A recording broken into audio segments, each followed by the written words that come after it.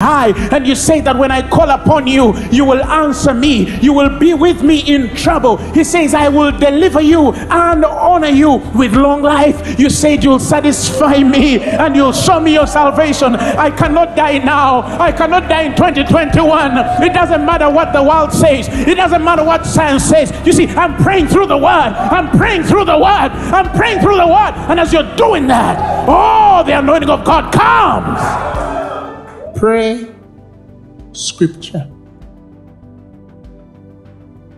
There are many people in the world who pray emotionally, not according to scripture.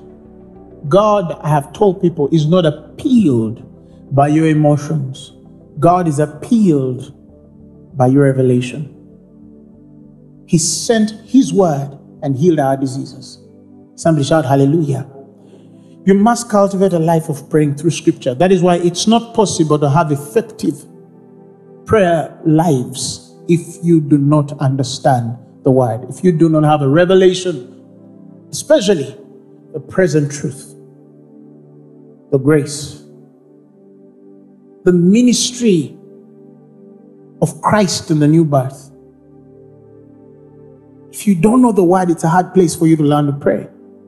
So when the Bible says in Psalms, uh, verse uh, Psalms 119, the psalmist says something beautiful. Psalms 119. Let's begin from the 13th verse. He says, "With my lips I have declared all the judgments of thy mouth." Was he just speaking them before people? No, that was a place of prayer when you are in a place of prayer, your lips have to learn to declare the judgments of the mouth of God. He says, I've rejoiced in the way of thy testimonies as much as in all riches. He says, verses 15, I'll meditate in thy precepts and have respect unto thy ways. Verses 16 says, I will delight myself in thy statutes and I will not forget thy word.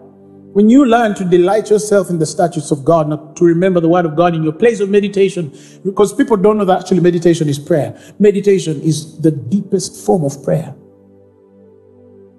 Because it's the realm of men creating the things that are not seen, to translate them to the world of the things that are the world of, of seen things. It's the, the law of exchange can only be uh, activated in the realm of, of, of, of, of, of meditation where we get things from the world that is not seen and then bring them in the world that is seen. It's a very beautiful place. You cannot be a, an effective praying person when you do not have a place of meditation in the Word of God. If you're complaining, like the Bible says, complain according to His Word. If you're murmuring and crying, cry according to truth. If you're interceding, first get to know the will of God in the word, then pray. Somebody right now has a person dying on COVID. And you know what they're praying? Father, if it's your will, heal them. If it's not your will, don't heal them. We shall be okay. And then they quote Job Shall we expect to receive only good from God? People should understand how the Word of God works. Do you know people think that everything in Scripture means that it's for them for their application? Scripture can say Judas killed himself. And there are parts in scripture that can say, in another portion of scripture, God do likewise. So, do you get those two lines and hang yourself? No, you don't. Peter speaks of men which are unstable and unlearned, who twist the scriptures as they do many of them for their own destruction. If you do not know the right application of the word, you could actually kill yourself. Reading the Bible, you can destroy yourself. Somebody shout hallelujah. The Bible is clear of the grace of our Lord and Savior Jesus Christ. He was wounded for our transgressions, bruised for iniquities. Chastisement of our peace was upon him. He became sin that knew no sin, that we being dead and to sins might live unto righteousness. And he says, by his stripes we were healed. The scriptures and the promise are evident. And somebody's telling God, if it's your will, let me heal of COVID. If it's not your will, let me not heal of COVID. What's wrong with you? So if they die, oh, what's the will of God? No, there are people who are trying to seek the will of God, and there are people who have understood that the new birth has a revelation of His will. I've given you the scripture. Somebody shout hallelujah. When you understand the will of God concerning a thing, when you learn to pray scripture, in the 48th verse again, in the book of Psalms again, Psalms 119, he says, My hands also, my hands also will I lift up unto thy commandments, which I have loved, and I will meditate in your statutes. So when I'm raising my hands up to praise God, I find myself quoting these things. Bless the Lord, all my soul, and forget not all his benefits. He that forgiveth all my sins and healeth all my diseases. He has redeemed my life from destruction and crowned me with loving kindness and tender mercies. He satisfies my mouth with good things so that my youth is renewed as the eagle. And as you're praying, you start feeling the Holy Spirit going through you. When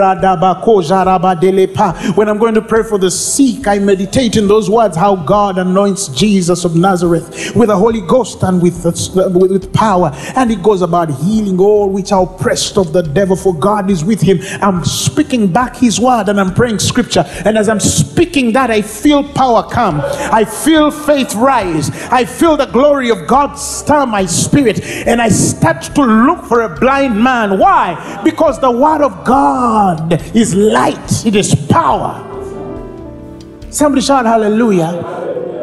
Father, I thank you because of your righteousness in Christ. I thank you that because of that, your life is in me. Hallelujah. I cannot fall sick from the crown of my head to the soles of my feet. You say, None in Zion shall say, I am sick, for you shall forgive all their iniquity. I'm a forgiven man. I'm a consecrated man. I'm a sanctified man by the blood of Jesus Christ. I thank you for my day. I thank you for my morning. The day responds to me. You told me never to worry or be anxious about anything. Oh, hallelujah, glory to God. For you said, For tomorrow has its own to worry because you know it's under the, the, the, the responsibility to provide for me. The days and years are submitted to me according to your will and your word. And so I thank you for this day as your blessings surround me. For I'm blessed with every spiritual blessing in the heavenly places in Christ Jesus. Have been given everything that pertains to life and godliness through the knowledge of Him that has called me to glory and virtue.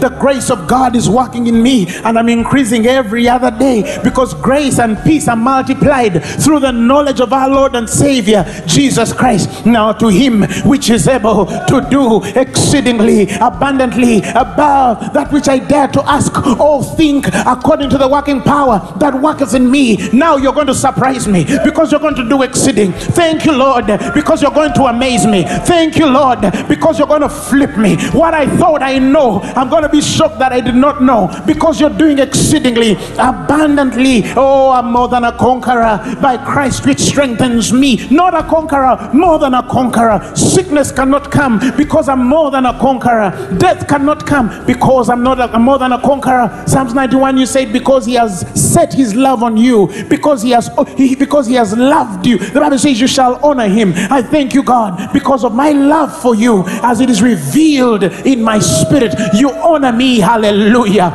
You will deliver me. The Bible says you shall set him up on high because he has known your name, and because I know you, my your name, you have set me on high. And you say that when I call upon you, you will answer me. You will be with me in trouble. He says, I will deliver you and honor you with long life. You said you'll satisfy me and you'll show me your salvation. I cannot die now. I cannot die in 2021. It doesn't matter what the world says. It doesn't matter what science says. You see, I'm praying through the word. I'm praying through the word. I'm praying through the word. And as you're doing that, oh, the anointing of God comes. Somebody shout amen.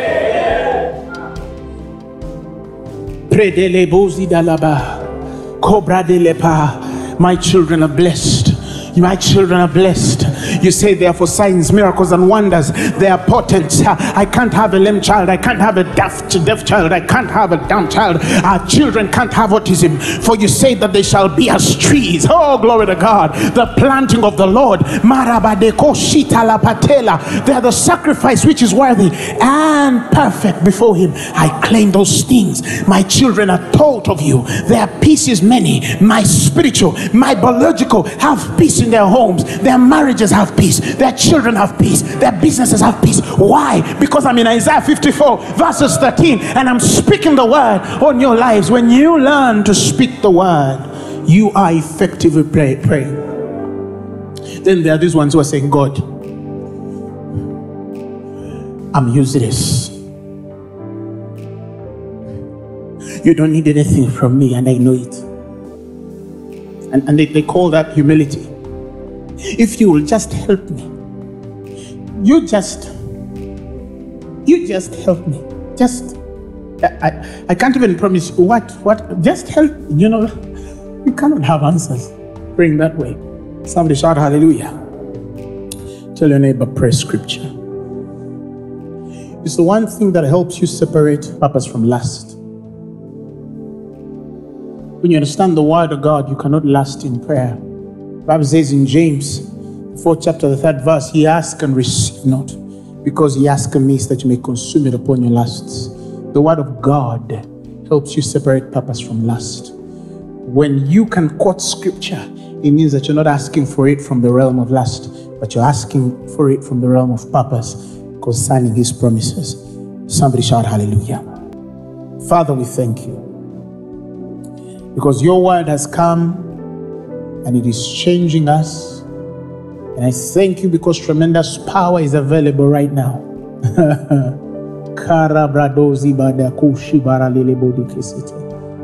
I speak healing to the sick right now. Whatever disease it is COVID, HIV, cancer, tumors disappear right now in the mighty name of Jesus.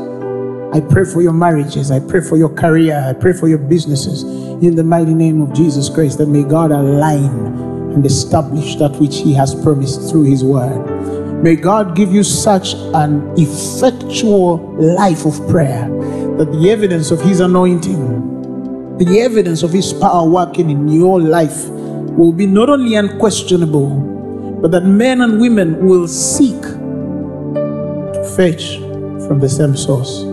I decree that God multiplies you and increases you in the season when men are casting down. That you are at your most healthy time of your life in the mighty name of Jesus. That your strides are free with from from from struggle and strife. I decree and I declare that the precision of God's vision on your life is going to amaze the world. God is going to quicken you. God is going to establish you. He's introducing you in the places that matter. I decree and I declare that you are in the greatest time of your life. And in a few months, a few weeks from now, the testimony of God on your life will amaze the whole world. In Jesus' mighty name. And all said, Amen. Give him a mighty hand clap of praise.